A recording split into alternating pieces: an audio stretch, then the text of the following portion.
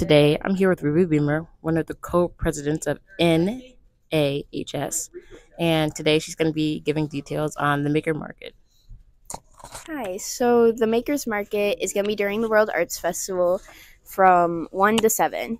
So it's going so the actual event starts at 4, but for students and teachers, you guys can come see us during the school day and see what we have to sell.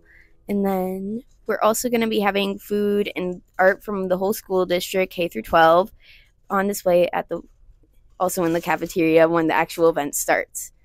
And then, yeah, hopefully we should get pretty crowded. Here's Kyla Clark, one of the co-presidents of NAHS, and she's going to be giving us information on the Makers Market.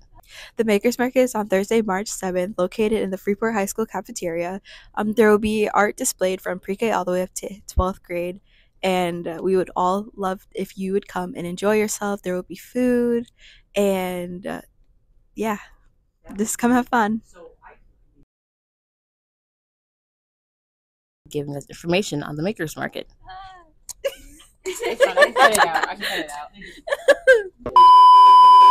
and then we'll start cleaning up, and we'll be.